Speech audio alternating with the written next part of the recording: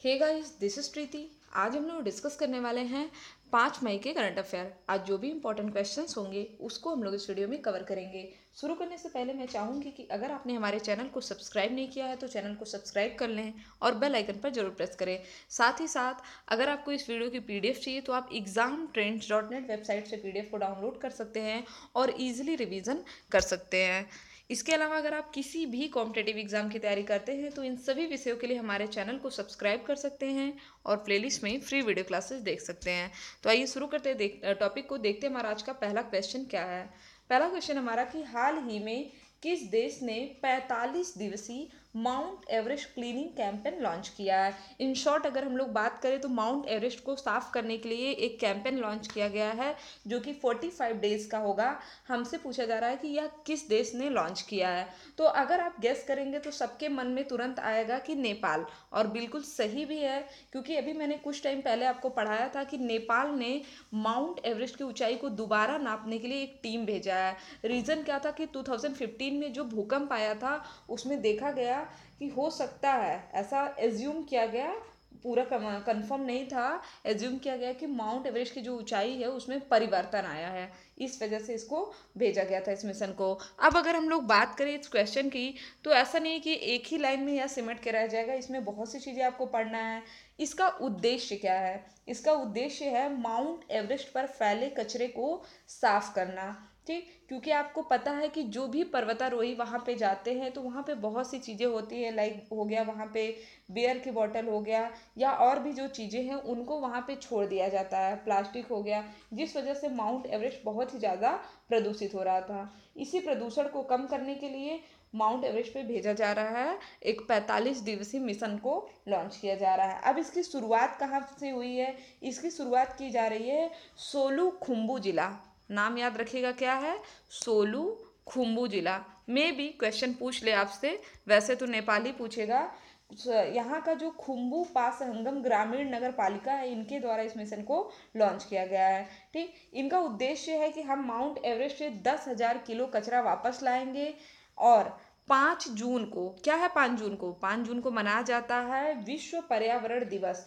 पाँच जून को इस जो कचरे हैं, इनका प्रदर्शन किया जाएगा नेपाल के कैपिटल काठमांडू में, ठीक? और नेपाल माउंट एवरेस्ट पे जो कचरा है, ज़्यादा कचरा होने के कारण इसे क्या कहा जा रहा है? विश्व का सबसे ऊँचा कूड़ेदान क्या है? माउंट एवरेस्ट, यह भी याद रखेगा। अगर माउंट एवरेस्ट की ऊंचाई की बात करें तो आठ आठ चार आठ है, और इसको चढ़ने वाली पहली दिव्यांग महिला कौन है? अरुणिमा सिन्हा, ठीक? चलिए, अगले क्वेश्चन की बात करते हैं। नेक्स्ट हमारा कि हाल ही में किस स्टॉक एक्सचेंज के साथ मिल करके जीएसटी जागरूकता कार्यक्रम लॉन्च किया गया है? तो क्या है ये जीएसटी जागरूकता कार्यक्रम? देखिए जीएसटी के बारे में लोगों को जागरूक करना, क्योंकि बहुत से लोगों के मन में ये वहम होता है कि जीएसटी बहुत ख़राब चीज़ है, हमें जीएसटी फ़ाइल नहीं करना चाहिए, या जीएसटी एक्चुअली में होता क्या है जो फ़ाइल भी करना चाहते हैं? तो इस तरह का एक जागरूकता मिशन चलाया गया है बॉम्बे स्टॉक एक्सचेंज के द्वारा। किसके द्वारा? Bombay stock exchange. यह भारत का सबसे पुराना स्टॉक एक्सचेंज है। कब हुआ था इसका गठन? तो 1875 में इसका गठन हुआ था। इसके अलावा आपने सुना होगा एक एनएससी के बारे में, नेशनल स्टॉक एक्सचेंज, जो कि अगर हम लोग बात करें तो यह एशिया का सबसे बड़ा स्टॉक एक्सचेंज है। इसकी स्थापना हुई थी बानवे में हुई थी।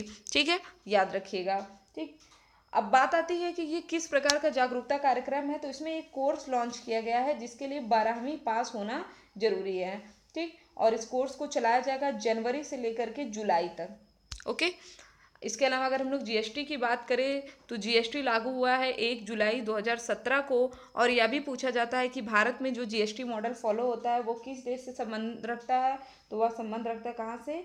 यह रखता है कैनेडाई मॉडल पर आधारित है यह जीएसटी, ठीक? याद रखिएगा। चलिए, अगले क्वेश्चन की बात करते हैं। किस देश ने एक शहर में 24 घंटे सर्वाधिक झंडा फहराने का रिकॉर्ड बनाया? तो ऐसा करने वाला है बेरूत। बेरूत क्या है? बेरूत है लेबनान की राजधानी। इन्होंने रिकॉर्ड बनाया है 24 घंटे सबसे ज़्यादा झंडा फहराने का। कितने झंडे फहराए गए हैं? तो करीब छब्बीस हज़ार आठ सौ बावन। कितने झंडे हैं? छब्बीस हज़ार आठ सौ बावन झंडे एक साथ फहराए गए हैं। इसके पहले यह खिताब किसके पास था? तो न्यूयॉर्क के पास था। न्यूयॉर्क के वाटर लू में यह किताब बनाया गया था और उसको ब्रेक किया किसने? बेरूत ने। इसको किसके द्वारा संरक्षण प्रदान किया गया था? तो वहाँ के प्रधानमंत्री हैं साद हरीरी। इन्होंने इस, जो पूरा कॉन्सेप्ट था झंडे का, इसको इन्होंने संरक्षण प्रदान किया। चलिए, अगले क्वेश्चन की बात करते हैं। अगला क्वेश्चन हमारा कि अंतर्राष्ट्रीय श्रमिक दिवस कब मनाया जाता है? इंपॉर्टेंट क्वेश्चन है। अंतर्राष्ट्रीय श्रमिक दिवस देखिए मनाया जाता है एक मई को। कब मनाया जाता है? एक मई को। और इस बार इसकी थीम रखी गई थी सबके लिए स्थायी पेंशन, सामाजिक पार्टनर्स की भूमिका। इसमें जो अंतर्राष्ट्रीय श्रम संघ है उनको बढ़ावा देने के लिए इस प्रकार का दिवस मनाया जाता है। नेक्स्ट है हमारा कि सिप्री के अनुसार। ये देखिए काफ़ी इंपॉर्टेंट क्वेश्चन है। सिप्री के अनुसार किस देश का सैन्य खर्च सबसे अधिक है? ये मोस्ट इंपॉर्टेंट क्वेश्चन है। अगर हम लोग बात करें तो यूपीएससी मेन से लेकर के पीसीएस तक में ये बहुत ही इंपॉर्टेंट क्वेश्चन है।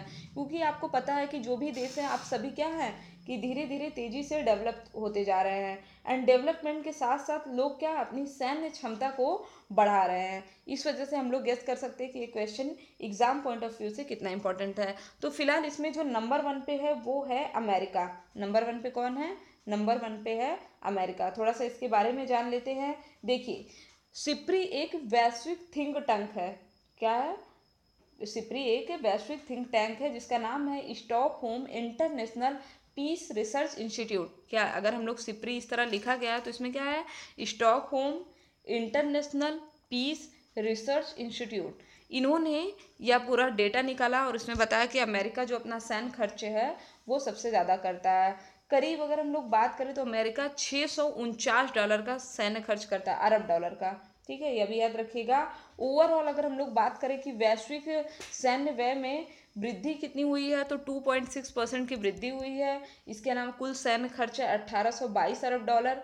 भारत कौन से स्थान पे यह भी इम्पोर्टेंट है तो भारत चौथे नंबर पे है। नंबर वन पे अमेरिका है, नंबर दो पे है हमारा चाइना, जो कि करीब ढाई सौ अरब डॉलर खर्च करता है। एंड इसके अलावा भारत है चौथे नंबर पे। तो याद रखिएगा इंपॉर्टेंट क्वेश्चन है, सैन्य खर्च, ठीक? Stockholm international peace research institute के द्वारा यह दिया जाता है। अगर हम लोग बात करें 2017 की, ये डेटा देखिए हर साल आता है। 2017 में भारत पाँचवें स्थान पे था और 2018 में भारत हो गया है चौथे स्थान पे। बात आती है तीसरे स्थान पे कौन है तो ये भी जान लीजिए, सऊदी अरब है तीसरे स्थान पे और पाँचवें स्थान पर है फ्रांस, ठीक? इन्होंने क्या किया है, जो वैश्विक स्तर पर कुल सैन्य खर्च, जैसे अगर हम लोग मान लें कि ये हमारा पूरा विश्व है और इसमें कुल सौ देश हैं, ठीक? जो हंड्रेड परसेंट खर्चा करते हैं अपने अगर ओवरऑल सबके सैन्य खर्च की बात करें तो सौ परसेंट हो जाएगा। जो ये अब ये हमारे इस नंबर वन के पाँच देश हैं, ये अकेले साठ परसेंट खर्च करते हैं। कितना करते हैं? अकेले साठ परसेंट यही खर्च करते हैं। तो याद रखिएगा। नेक्स्ट क्वेश्चन हमारा कि हाल ही में किस टीम ने ला लीगा 2019 जीता है? तो इसको जीतने वाला है बर्स बर्सिलोना फुटबॉल टीम। कौन सी टीम है? Barcelona football team. ठीक? इन्होंने क्या किया कि जो रियाल मैड्रिड है, उसको हरा करके यह जीता है।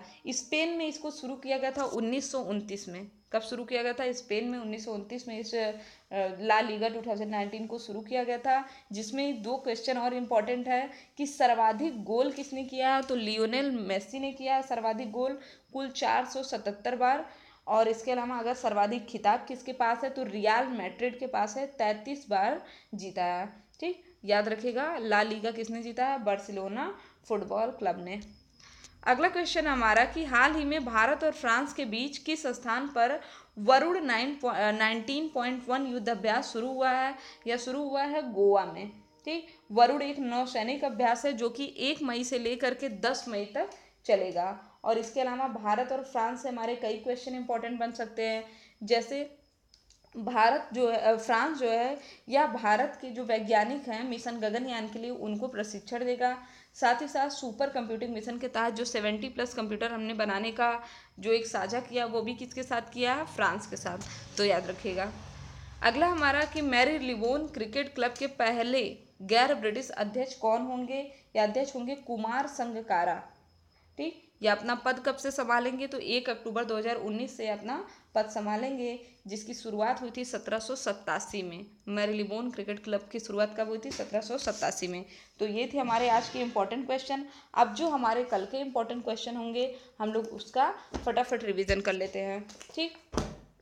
तो कल का हमारा पहला क्वेश्चन था कि हड़प्पा कालीन सबसे पुराना कब्रिस्तान कहाँ पे मिले? सबसे बड़ा कब्रिस्तान कहाँ पे मिला है? तो यह उत्तर प्रदेश के सनौली में मिला है। याद रखिएगा, काफ़ी इंपॉर्टेंट क्वेश्चन है। अगर आप लोग देख रहे हैं यूपी के एग्ज़ाम किसी भी एग्ज़ाम के लिए, ठीक, उत्तर प्रदेश के सनौली में मिला है।